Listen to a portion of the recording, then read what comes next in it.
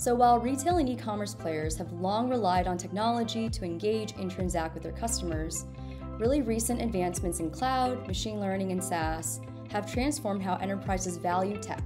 However, as examples of these organizations have invested in their technologies to deliver more, they've also experienced rising monitoring complexities that were blocking desired outcomes. These monitoring challenges are often what's holding companies back from their latest software release, and that's what Datadog was designed to overcome.